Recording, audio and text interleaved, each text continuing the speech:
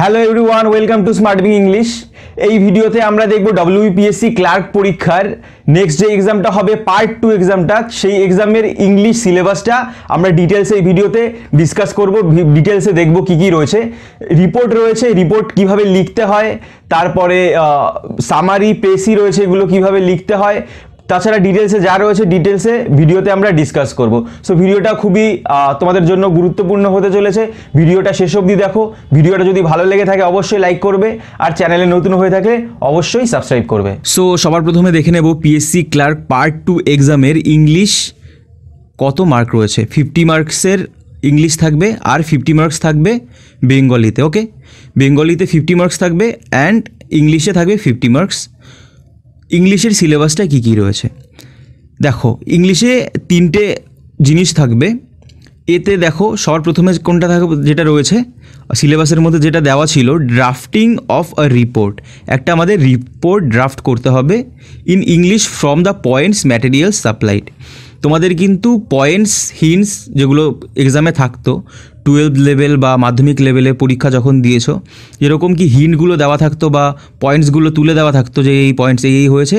এর ওপর বেস করে লেখো। সেম ওই রকমই দেওয়া থাকবে। সেইভাবে তোমাদের ওগুলো দেখে দেখে লিখতে হবে।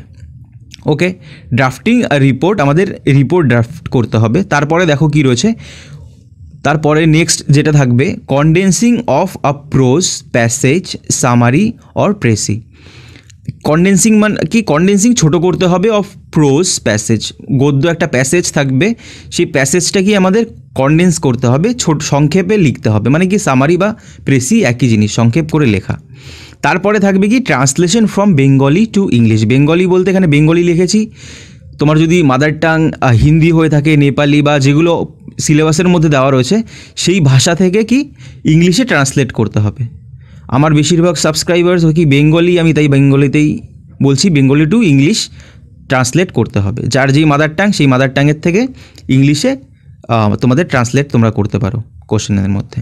সো দেখো, তিনটেই, এই তিনটেই মেইন এক্সামে এই তিনটেই থাকবে।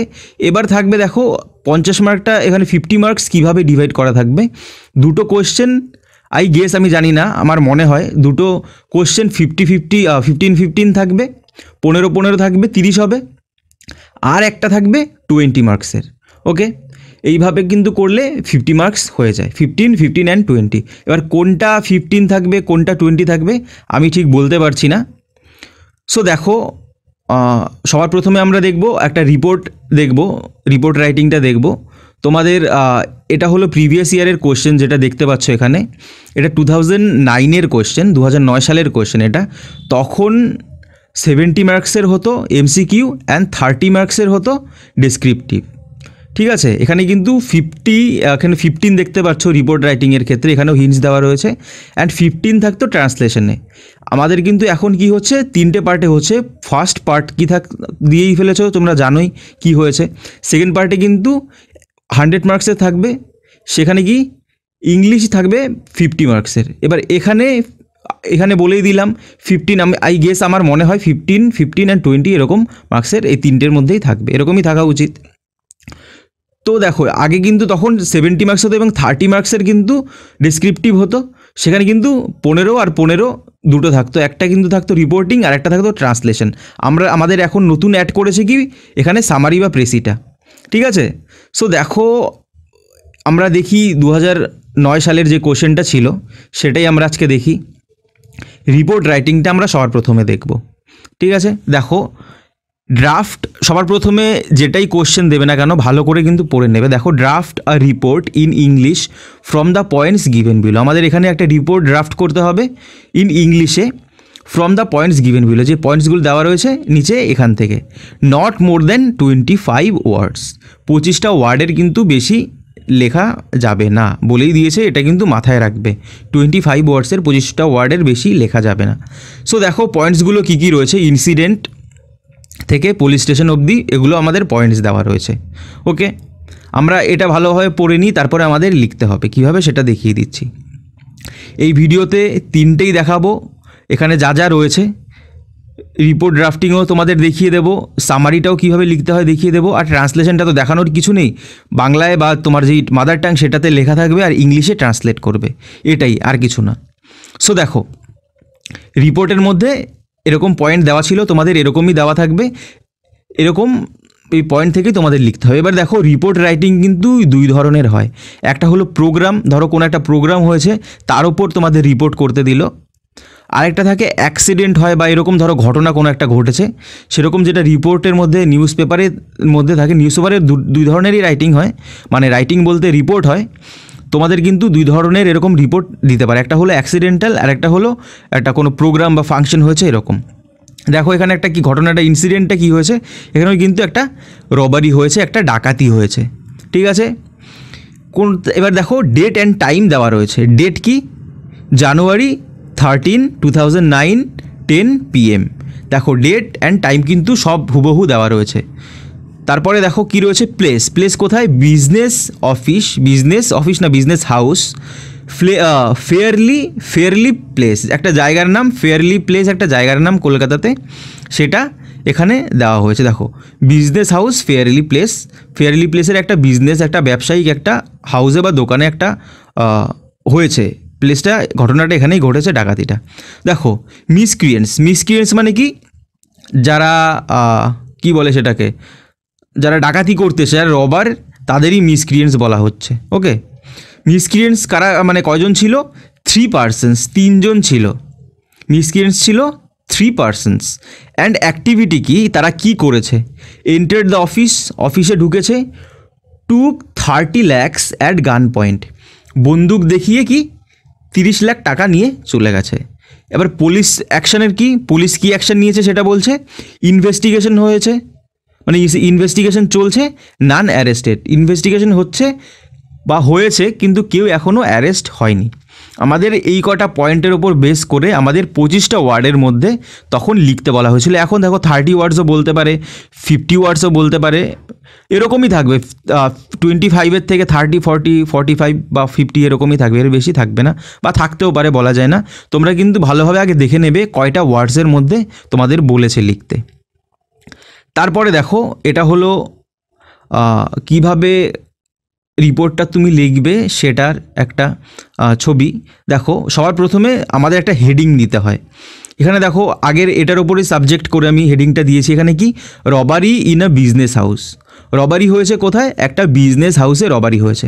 অ্যান্ড এই ক্ষেত্রে এটা কিন্তু মনে রাখবে যে যেই হেডিংটা থাকবে হেডিংটা কিন্তু প্রত্যেকটা লেটার ক্যাপিটালে দেবে।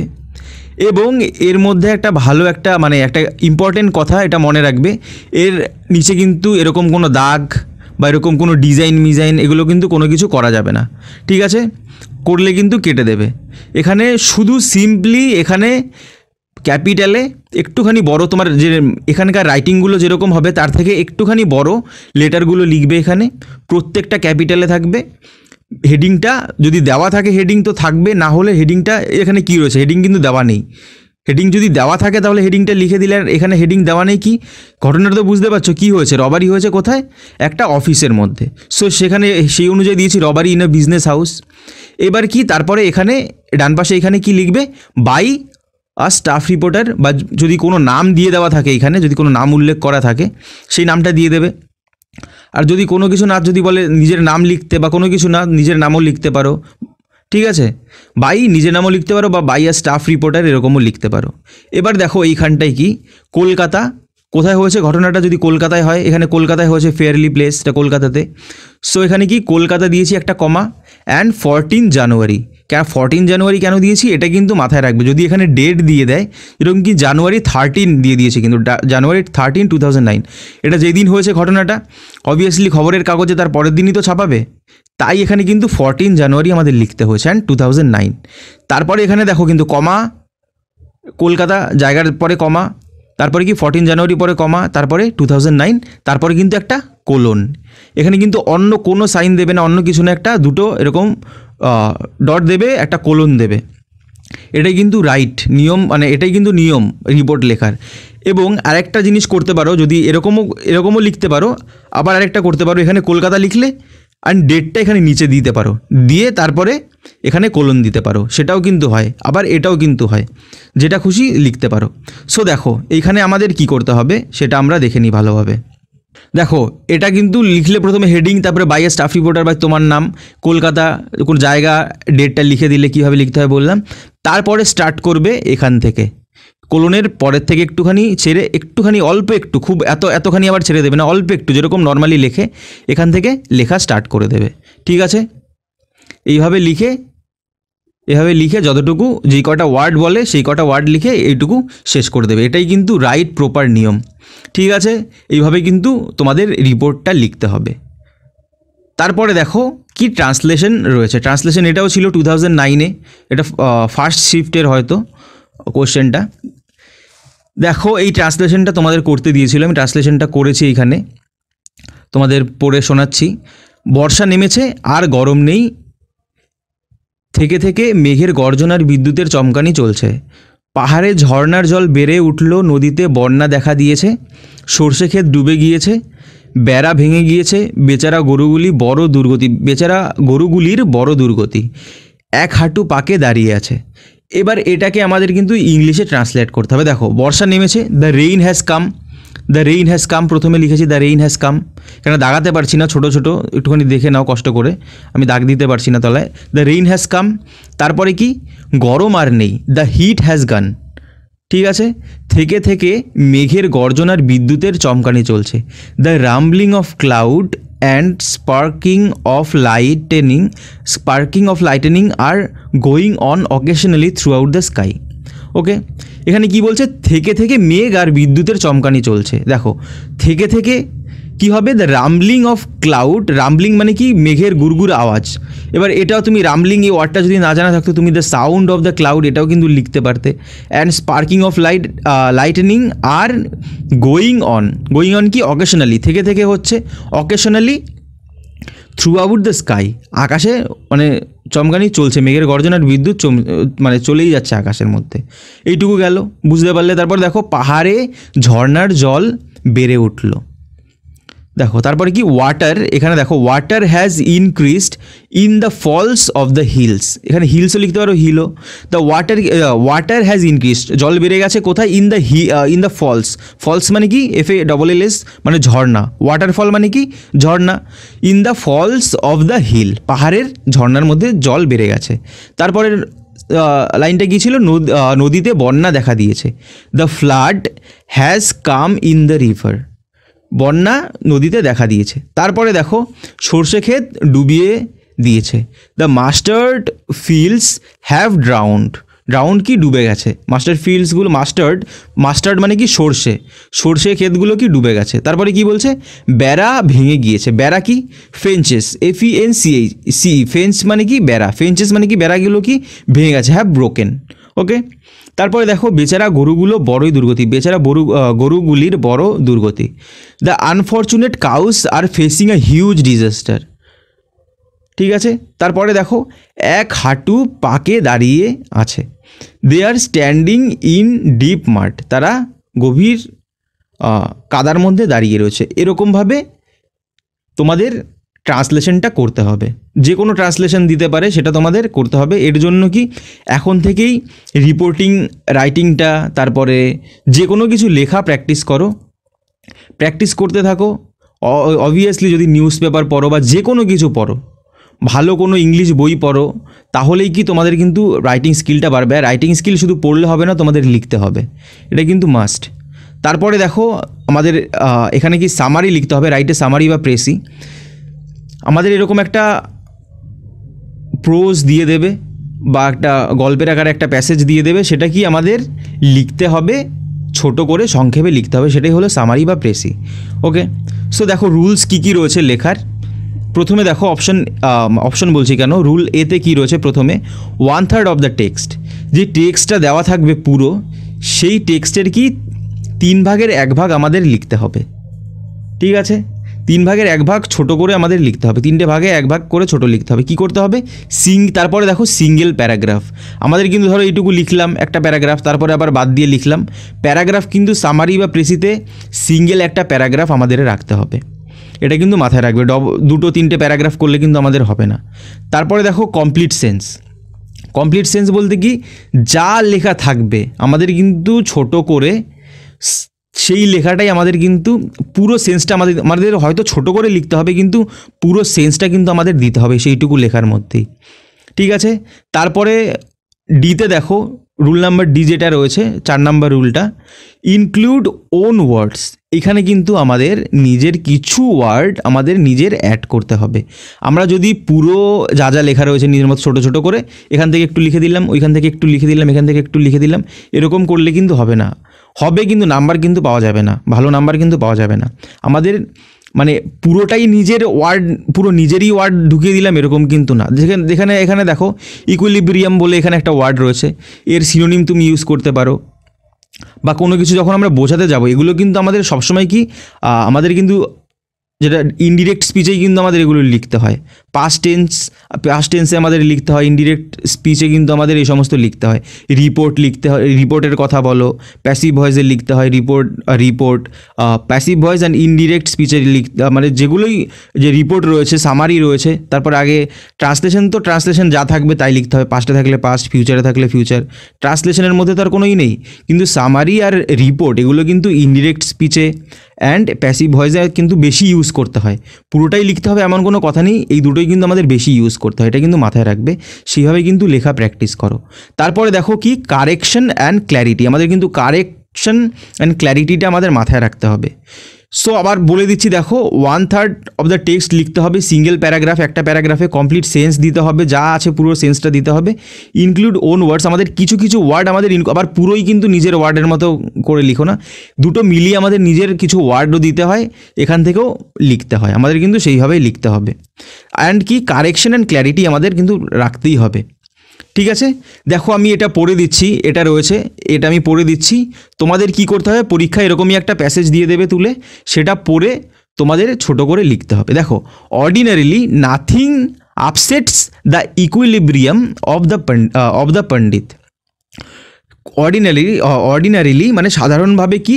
কোনো কিছুই পণ্ডিতের ইকুইলিব্রিয়াম বলতে কি মস্তিষ্কের সুস্থতা বা স্থির একটা ভাব যে রয়েছে, একটা মানুষ স্থির বা শান্ত থাকে, সেটাই ইকুইলিব্রিয়াম কোনো কিছুকে এই সেই ইকুইলিব্রিয়ামকে আপসেট করে না, কোনো কিছুই সাধারণভাবে।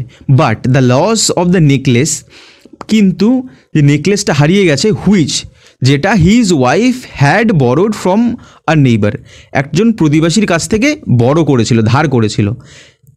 And the fact that he had to replace it worried him এবার কি এই ব্যাপারটা, যেটা কি তাকে আবার ফেরত দিতে হবে, এটা আবার সেটার পরিবর্তে একটা কিছু ফেরত দিতে হবে, সেটাই তাকে অডিট করছিল, তাকে চিন্তার কারণ করে দিয়েছিল।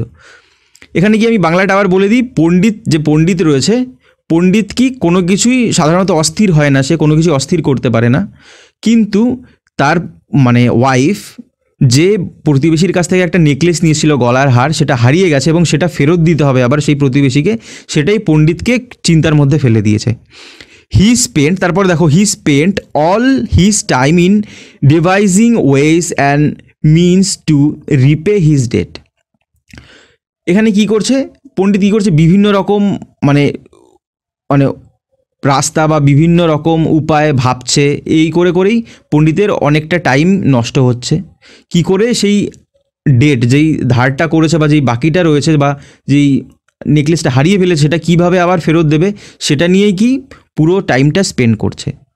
তারপরে দেখো সিক্স মান্থস লেটার ছয় মাস পরে হি গেভ হিজ ওয়াইফ এটা কিন্তু he he gave his wife a gold necklace ছয় মাস পরে তার বউকে সে কী দিল?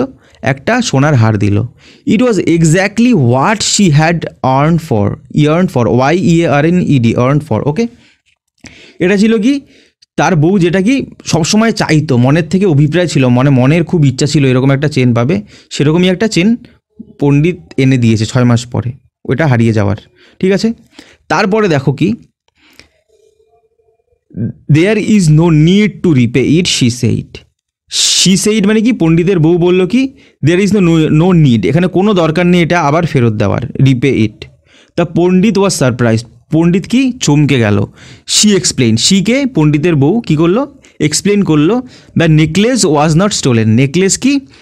মানে হারিয়ে যায়নি বা চুরি হয়ে যায়নি was not stolen okay that was the only way এটাই ছিল একমাত্র রাস্তা একমাত্র পথ আই কুড থিঙ্ক আমি যেটা ভাবতে পারি of making you get me one তোমাকে দিয়ে একটা, আমি নিজে একটা নেকলেস পাবো।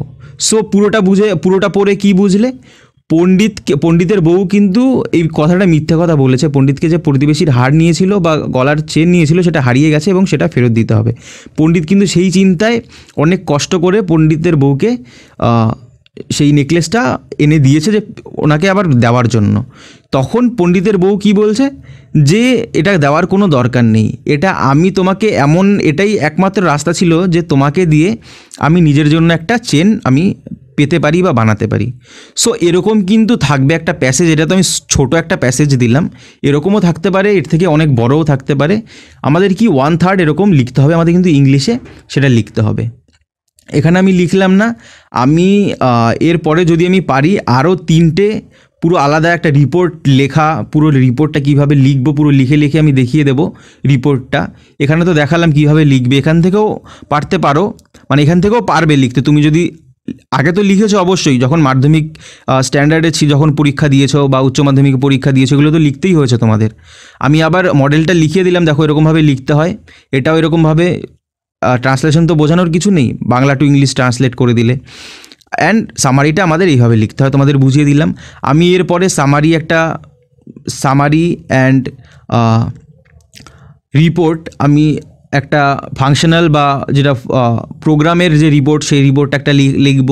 অ্যান্ড অ্যাক্সিডেন্টাল রিপোর্ট একটা লিখে তোমাদের আমি দেখিয়ে দেবো। অ্যান্ড আরেকটা সামারি একটা দুটো সামারি তোমাদের আমি ক্লাস নিয়ে নেব নেক্সটে ওকে সো পুরো এই ছিল আজকের ক্লাস যদি এর মধ্যে তোমাদের কোনো ডাউট থেকে থাকে, অবশ্যই কমেন্ট করবে। আর আজকের জন্য এইটুকুই, ভিডিওটা শেষ অবধি দেখার জন্য অনেক ধন্যবাদ। সো নেক্সট ভিডিওতে আবার দেখা হবে।